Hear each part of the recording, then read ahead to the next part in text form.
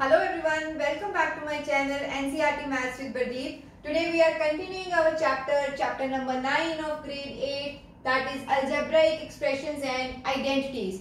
This is in continuation with the topic that I have already discussed in the previous video that is multiplication of algebraic expression. In that video I have done multiplication of monomial with monomials.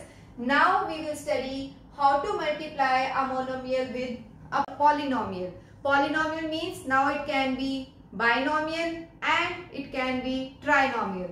So indirectly we can say that we will learn how to multiply a monomial with binomial or how to multiply a monomial with trinomial. So in any case but whether it is binomial or trinomial we will use our property that is distributive property of addition over multiplication. So that means multiply each term of the polynomial by monomial and then add the products. That means we will combine the like terms and find our final answer. So here what it is, I will explain. Suppose we are given one monomial as A and two B and C as our binomial. So how to multiply it using distributive property First we will multiply A with B that is A into B and then we will multiply A with C keeping this sign plus in between. That means A into C. After doing this we will see whether there are any like terms we will add or subtract according to our question and find our final answer. Here if it is trinomial then again we have to multiply our monomial with each of the term of trinomial. That is first we will multiply A with B. Then this plus sign. So A with C. And this last one as A into D. So in any case whether it is binomial or trinomial keep one thing in your mind that we will multiply our monomial with each of the term of our given polynomial and then add or subtract the terms similar terms that we have already discussed how to do in our previous videos. So let's solve this with an example. Let me show you how to multiply a monomial with a polynomial with an example. So let's see what is given here. It is simplified this full polynomial and then find the value for y equals to minus 2. So what we will do is first we will solve it, simplify it and whatever answer we get we will substitute the value of y as minus 2 and then find our final answer. So let's see, it is, let's see the solution. This is 3y multiplied by 2y minus 7 minus 3y minus 4 minus 63. So what we will do is, we will multiply this with first, first term that is 3y multiply by 2y. Then this minus will come here. Remember your distributive property? Same we are applying here. So this is 3y multiplied by 7. Okay. So next is again see minus we will keep here. We don't take this minus sign along with 3 because it will complicate the question. So here we will keep minus as it is and multiply only this 3 with the internal terms of this binomial. So that means 3 into y first here and then here. So this minus will come here. Now 3 should be multiplied with 4. Okay. And then this minus 63 as it is. Clear? So now what we should do next? We will multiply these two monomials together. So 3 into 2 will give me 6. y into y will give me y square. Okay. Here it is 3 into 7 is 21. y here we don't have any variable so y will be kept as it is. Okay. So minus.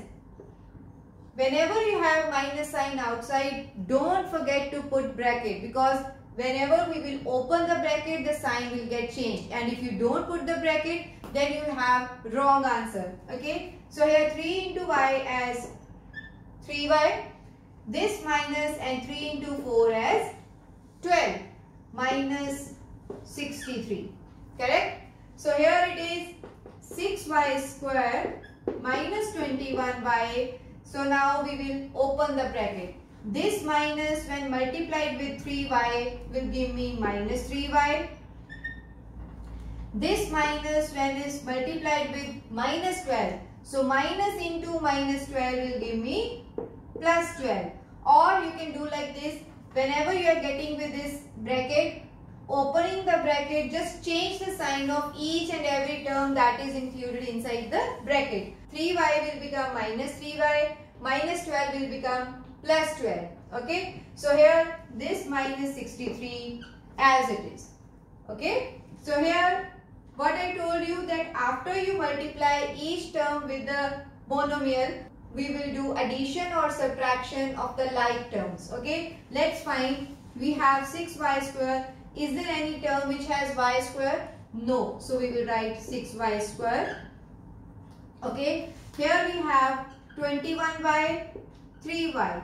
So are these like terms? Yes, because they have same variable with same powers. So that means we should first solve them. Minus 21 minus 3. So we will get minus 24 and y as it is. Okay. So now again both constants. They are also like terms. So we will do plus 12 minus 63. That means we need to subtract 12 from 63. So this is 3 minus 2 as 1. 6 minus 1 as 5 what should be my sign of the bigger number? So bigger number is 63. So we will get minus 51. Is it clear? This is the simplification of this expression. Now move to our second part that is find the value of this expression when y equals to minus 2. So let's solve it. We will write this expression again that is 6y square minus 24 by minus 51. Okay. So we want y as minus 2. At y equals to minus 2. So let's find the answer. So 6y square minus 24y minus 51 is equal to okay 6 multiplied by y value. y value is minus 2. We will write here. It's square. We will write square Next is minus 24 again y. Okay. So y is minus 2. And then we have minus 51. Clear? So let's see. We have minus 2 square or we can say minus 2 multiplied by minus 2. So minus minus will get cancelled. 2 into 2 is 4. So that means 6 into 4. Now we will have minus 24 into minus 2. So again this minus and minus will make it positive. 24 into 2 is 48. So we will have plus 48 and then minus 51 as it is. Okay. So now see 6 into 4 as 24. 24 plus 48 minus 51. Correct? So now first add these two terms. What we will get? This is 4 plus 8 as 12 2 plus 4, 6, 6 and 1, 7. So 72 minus 51, let's subtract it. 2 minus 1 as 1, 7 minus 5 as 2. So 21 is our final answer. This is how we will solve our algebraic expressions when questions are quite complicated. I hope you understand how to solve this type of questions. See you in my next video in which I will solve the next exercise of this chapter. Thank you.